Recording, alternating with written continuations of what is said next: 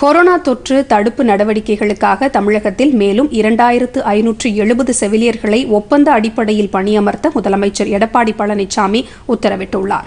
ஏற்கனவே மருத்துவ பணியாளர்கள் தேர்வு வாரியம் மூலமாக ஐநூற்று முப்பது மருத்துவர்கள் இரண்டாயிரத்து முன்னூற்று இருபத்தி மூன்று செவிலியர்கள் ஆயிரத்து ஐநூற்று எட்டு ஆய்வக நுட்பனர்கள் மற்றும் இரண்டாயிரத்து எழுநூற்று பதினைந்து சுகாதார ஆய்வாளர்கள் பணியமர்த்தப்பட்டுள்ளனர்.